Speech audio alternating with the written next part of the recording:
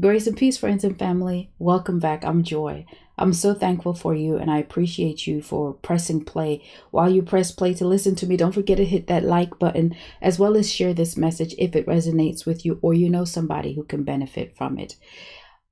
Welcome to our conversation for today. Before we do get started, I just want to take a moment to invite the ladies to join me at Bible for Bible study when Queens convene. We meet every first Friday of the month at 7 p.m. Central Standard Time. You can sign up at my website, pinkgirlteaches.com. You'll find it under When Queens Convene.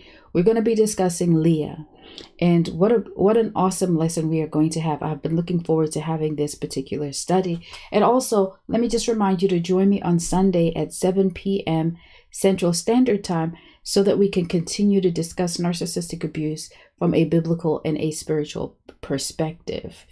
You know, one of the one of the one one one key scripture that I want to focus on today comes from Romans chapter 12 verse 2. And what that says, it's a very familiar one, but it says, "Do not be conformed to this world, but be ye transformed by the renewing of your mind, that you may prove what is that good and acceptable and perfect will of God." Romans 12 and 2. You know, when we consider the word do not be conformed, what what essentially we are being told is not to be pressured, not to be pressed to adapt to the value systems, the belief systems of this world of this society and culture, wherever you are. You know, the Bible talks about God as being the potter and us the clay, and He molds us, He conforms us to how He wants us to be, meaning that He conforms us into His into his his his view on the world his view on life his view on you know how we are as sons and daughters of god. In come the narcissist.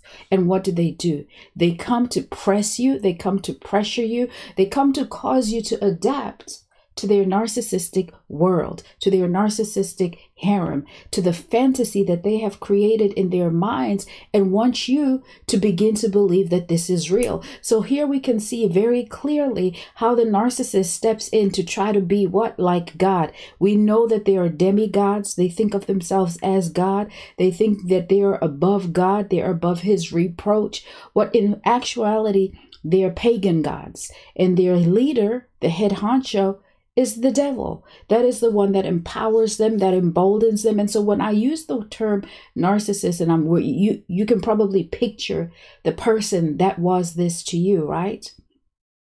I want you to go beyond that because we understand that we wrestle not against flesh and blood, the spirit that is at work. That spirit wants to make you conform. And so, what happens through narcissistic abuse, which can be broken down as emotional abuse, physical abuse, verbal abuse, um, sexual abuse, right? Through the word curses, through the indoctrination, through the love bombing, through the grooming, through the sleep deprivation, all of those things, highly demonic, right? But what what the goal of that is to get you to conform to the patterns of the narcissist's world. And when we say the narcissist world, right, I need you to understand that this is now to conform to the patterns of the demonic kingdom. But in order for this to happen, right, and I want you, just like I mentioned, God is the potter and shaping you. Understand that the narcissist mindset have been shaped by the devil and they have been trained by the devil. That's why we're always like, well, they all act the same because they all had the same demonic training. And so now in return, here they come to shape you to to cause confusion in your world, to cause you to think like they do, to cause you to be subjected, shaping you to perform what it is that they want you to be.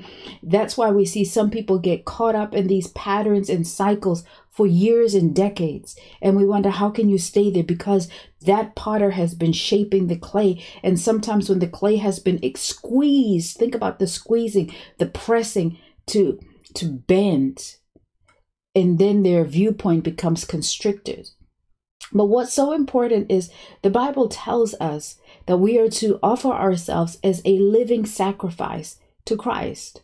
But that's kind of interesting because when we consider living sacrifice, we know sacrifices are killed.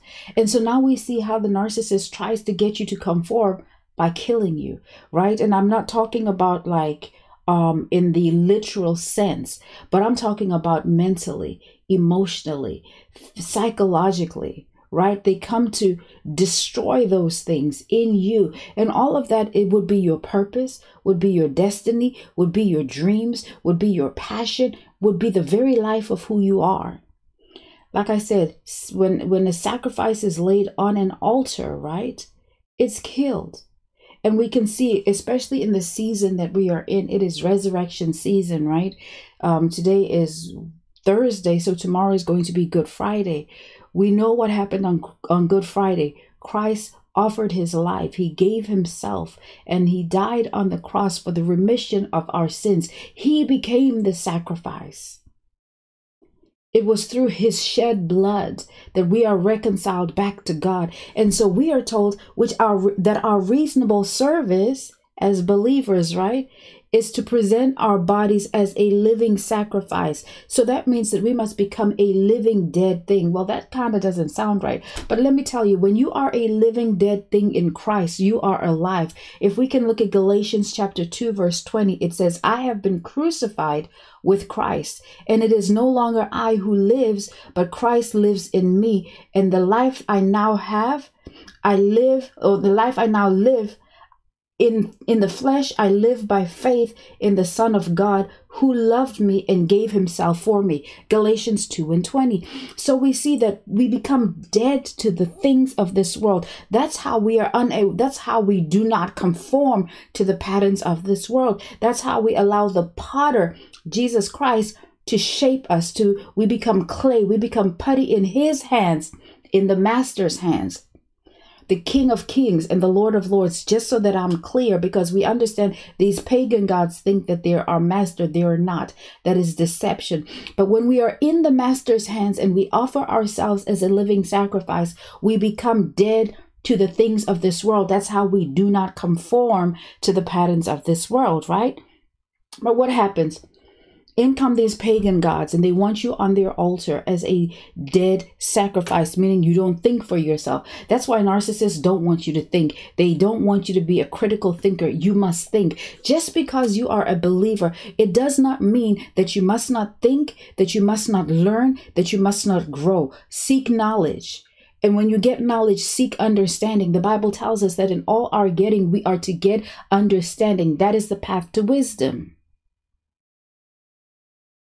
And so, what the narcissist does is that they come to lay you on this altar. And granted, it, it may it may not be a physical one, right? Because not every altar is physical, but they want you to offer yourself as a dead sacrifice. I hope you get what I'm saying. Because it's it, it almost looks like it would align with the word of God, but it's a lie straight from the pits of hell. You don't offer yourself as a dead sacrifice. We are told to offer ourselves as a living sacrifice. But in a, in a world with a narcissist, you offer yourself as a living sacrifice that becomes dead. You can no longer think for yourself. You can no longer govern your own your own thoughts. You're no longer able to just be autonomous. The very things that we have in Christ. It's the restriction and then once you become that dead sacrifice on their demonic altar, it shifts the entire trajectory of your life. Likewise, if we are a living sacrifice by the shed blood of Jesus Christ, the Messiah, we live. Remember, Galatians 2 and 20 says, I have been crucified with Christ, and it is no longer I who lives, but Christ lives in me. And the life I now live in the flesh, I live by faith. Remember, we walk by faith and not by sight. Right? It says, I live by faith in the Son of God who loved me and gave himself up for me. What has the narcissist ever given up of themselves for you? Did they ever become a living sacrifice for you? Did they ever offer you sacrificial love? No. They want you to be the sacrifice. I want to encourage somebody today that if you are hearing me and you have been feeling pressed, if you are feeling pressured, if you are feeling like you are being molded to fit the world's view, because one thing about this world is it is highly narcissistic. It is highly narcissistic. I need you to understand that the, the Savior of the world, Jesus Christ, the Messiah, gave his life for you. You do not have to be squeezed to accept what the narcissist said for you, said about you, or did to you, how they made you feel. You do not have to be pressured to believe what shame says to you. You don't have to be pressed to believe what trauma, childhood trauma, the trauma of emotional abuse, the trauma of sexual assault, the trauma of, of narcissistic abuse. You don't have to believe those things. Those are experiences. They are lived experiences, but they are not the truth of who you are. The enemy wants you to believe that you are defined by those things. The devil is a whole liar. I come and I talked to you today as somebody who did believe all the lies of the enemy, but I've chosen now to not only believe what God says about me, but to walk in his truth. I charge you now to believe who God says that you are and walk in his truth, fearless one. Do not conform to the patterns of this world, but be ye transformed by the renewing of your minds. By the renewing of your mind, that you may be able to prove what is that good and acceptable and perfect will of God. I want to thank you so much, Fearless One, for spending some of your day with me today. It's my sincere prayer that this has blessed you, that it has inspired you, and that you are encouraged to continue to press towards the mark of a higher calling of God in Christ Jesus. Continue to come from behind and have a fantastic day. God bless you.